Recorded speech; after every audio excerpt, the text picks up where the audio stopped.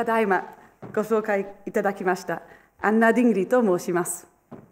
まずは、 Sir Peter Parker Awards の委員の皆様、第25回ビジネス日本語スピーチコンテストのご達成、おめでとうございます。皆様のコンテストが四半世紀も続いてきた続いてきたのが素晴らしいことだと思います。ただ、今日、私お話ししたいと思っているのは、もう一つのより私にとって個人的に重要な一世紀半ぶりとなる記念のイベントについてです。今年2015年は1865年に薩摩がイギリスに留学生を送り出してちょうど150周年ににあたります。薩摩と英国の150年にわたる交流の歴史。それを背景にして昔と今ビジネスの交流はどう変わったか比べてみてさらに 150, 150年先日英関係がどうなっているのか想像してみたいと思います。ところでなぜ薩摩が薩摩の話が私にとって個人的に重要なのかと申しますとそれは私が初めて日本で日本で初めて住んでたのが住んでたところが鹿児島県だからです。22歳で大学を卒業してすぐに鹿児島県の最南端佐田町という小さな町に移りそこに1年間住んでいました。佐田町佐田岬にいたことがある方がいらっしゃいますか？誠よかとかじゃ。いらっしゃいました。嬉しいですね。ご存知と思いますが明治維新に先駆け薩摩は19人の研究生を英語貿易産業などの研究の目的にロンドンの UCL 大学に送りました。日本はまだ鎖国の時代だったためこの投稿は秘密裏に行われました。彼らの平均年齢は22歳でした。ちょうど私が佐田町にいた時のと同じ年齢です。ひどい船酔いと慣れない食事に耐えながら、香港、シンガポール、インド、エジプトなどの寄港地地経由で約2ヶ月間の長旅の末、留学生はようやく私の生まれた町、サウサンプトンへ到着しました。ロンドンでまず、ノッティングヒルに滞在しました。多分こちらにいらっしゃる多くの方々されたように休みの日にケンジントンガーデンズを散歩してロンドン島も観光しました。将来にその近くにののホランドパークに日本の庭園ができるのか思わなかったでしょう。造船場や鉱山などを見学し広くイギリスの経済や社会のを見聞きしました。留学留学生たちは日記をつけつけていました。当時の天気を記録していて、皆様が驚くと思いますが、多くの日に晴れと書いてあります。実は私も日記をつけます。佐田町私は佐田町にいた時は、天気よりも虫について書いて詳しく書き書いていました。かも鹿児島の雲がありえないぐらい大きくて怖かったんです。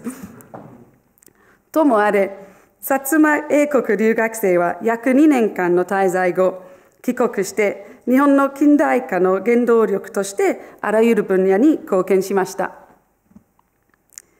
以来、150年が経って、今日、日英の交流はさらに幅広く進んでいます。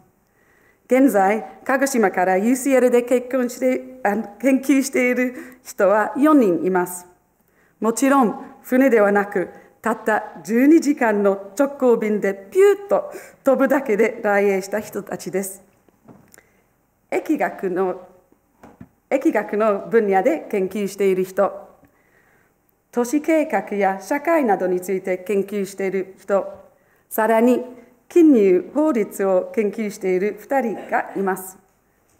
他にも、サツリマスチューデンツに感化された人が何人もいます。鹿児島と UCL, UCL のつながりには、大企業が関わる例もあります。ロンドンにある塩野義建設、塩野義の欧州本社の社長さんは鹿児島県の桜島出身です。おととしには UCL と一緒に新しい薬の開発を始めま始め始めました。もちろん、日英関係が鹿児島県とイギリスの関係に限られていないことは明らかです。ここにいらっしゃる方々も日英交流に熱心な皆様だと思います。私は日本語を勉強したおかげで民間企業や政府との仕事への扉が開けました。その結果、両国の交流促進のためにはビジネスに関する知識のみではなく文化の総合理解が必須だと考えています。最近、その思いを再認識する機会がありましたので、紹介させてください。イギリスの政府の代表と日本の政治家とのミーティングに出席しました。両国の間の幅広いのテーマについて通訳を通して話し合いました。サイバーテロリズム、入国管理、貿易、オリンピックなどですが、私にとって印象に残ってたのはのが最後の挨拶の時のことでした。日本人の政治家が一生懸命英語で伝えようとした。My wife likes One Direction. My son likes Thomas the Tank Engine. この言葉で一気に下見を感じ、やっと打ちと打ち解けることができました。文化にはそんな偉大な力があるんですね。最後に150年後、2165年の日英関係はどんなになっているでしょうでしょうか？ビジネスにはますますオートメーション化が進むことが当然だと思いますので仕事の進め方も変わるでしょう。学術交流は何に取り組んでいるでしょうか？宇宙です宇宙はどうでしょう？幸いなことに宇宙開発が日英交流で最も進んでいます。例えば、JAXA は日の出という人工衛星に最新機器を搭載し、イギリスと共同で研究しています。イギリス側の研究の代表は UCL 大学の先生です。日の出の打ち上げ場所はどこだったでしょう？もちろん、鹿児島県大隅半島佐田町の近く、内之浦です。またしても鹿児島とそして UCL です。この先150年間が経っても鹿児島と UCL が最先端の学術分野医学や宇宙開発で日本日英関係の引っ張っていけたらななんと素晴らしいことでしょうこのスピーチを準備しながら自分の経験を振り返してみて印象に残ってたことが2つあります。一つは、時代が変わっても人間の基本行動は変わらないということです。今も昔も我々が日記をつけ、休みの日にケンジントンガーデンズを散歩して、ロンドン島も観光します。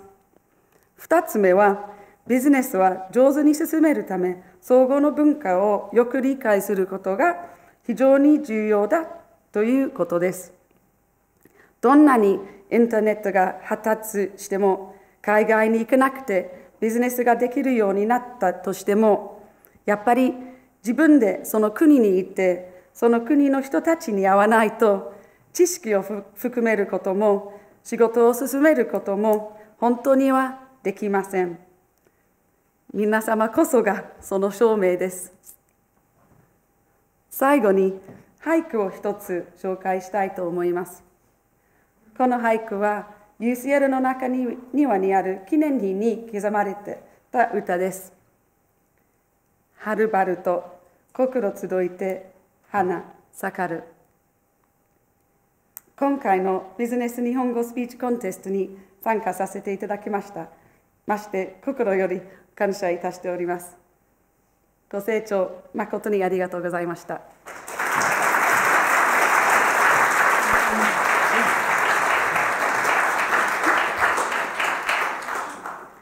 ンナさんありがとうございました。